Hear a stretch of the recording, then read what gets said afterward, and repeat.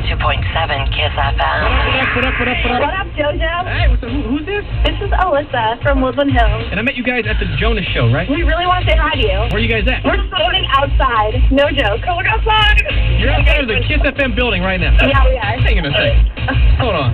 We're so, I'm not kidding. I gotta jump up on this counter real quick, so give me a sec. Okay. Can you hear me? Yeah, I can hear you. Are you near the front door? Where are you at? Okay, do you know what Arnie Morton Steakhouse You is? gotta go farther to the other end of the building where I'm at. Okay, hold on. I'm gonna go over there now.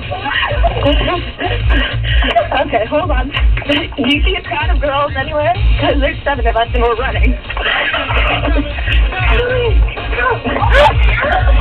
You're real Julia.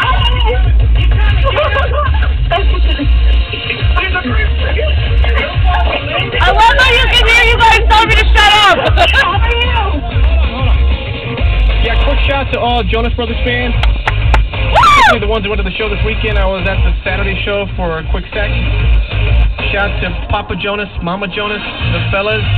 Backstage, we had a little, uh, a little chat, and I think what they told me backstage is going to change the way all Jonas fans go to every future concert. So if you're a Jonas fan, spread the word. KIISFM.com. Type in the keyword JoJo, or direct, you know, hit up JoJoOnTheRadio.com. Same spot. See the video. That's going to change future Jonas Brothers concerts, or at least change what you bring to the show. That's all I'm saying. Check it out, and that's it for now. Hey. Uh, let's pay your bill. You ready? Yeah.